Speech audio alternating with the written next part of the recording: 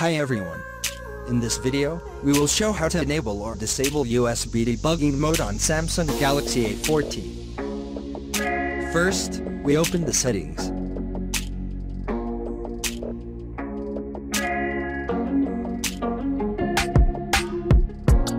Then you need to scroll down to the very last point about phone.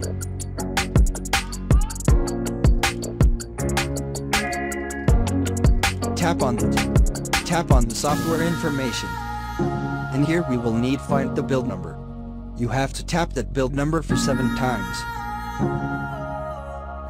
Now we are a developer for the phone.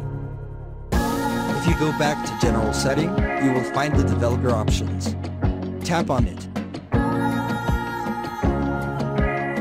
These are the developer options. From this list, you can find USB debugging. Tap on it. Then tap on OK.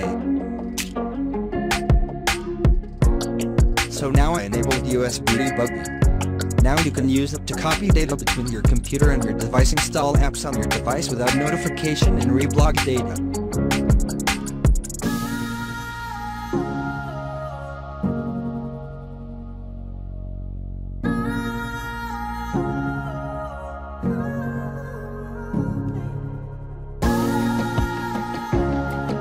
You want to disable USB debugging mode again, tap here and disable it. If you want to disable developer options completely, you can tap here and disable that.